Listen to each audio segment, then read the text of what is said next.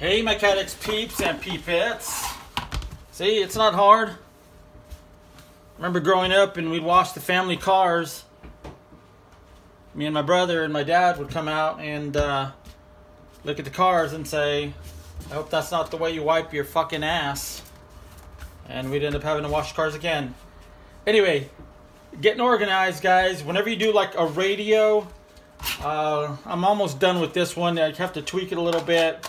Uh, custom wanted basket weave. So it's got basket weave running the HT750. So let's put this thing back together again.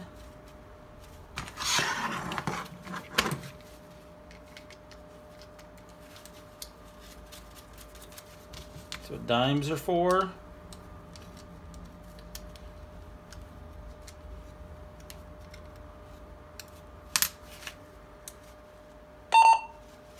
Okay, so we'll do a final tweaking for the mic and make sure that the button, main button is protected.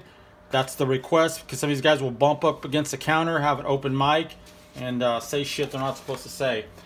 So anyway, finish this. Um, now, blocking for my radios, this is what it looks like, and this is how it I keep it.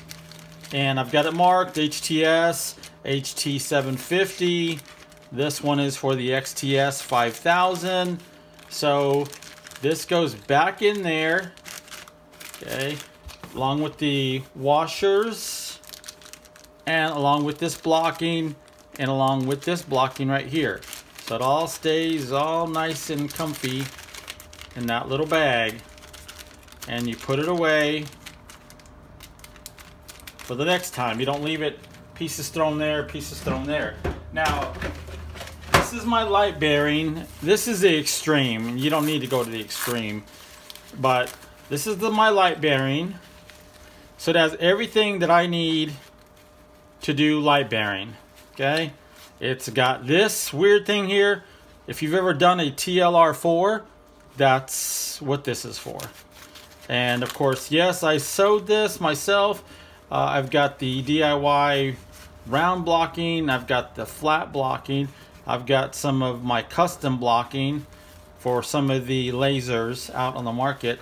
And you've got, of course, your um, TLR1.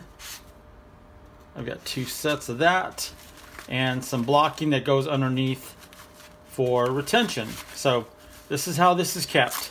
So anyway, guys, I uh, wanted to just show this. One of these days I'll do a video on on uh, how to do the radios and get all that stuff done. Got blocking for a Tek-Lok or X-Lock and um, yeah, that's all I got.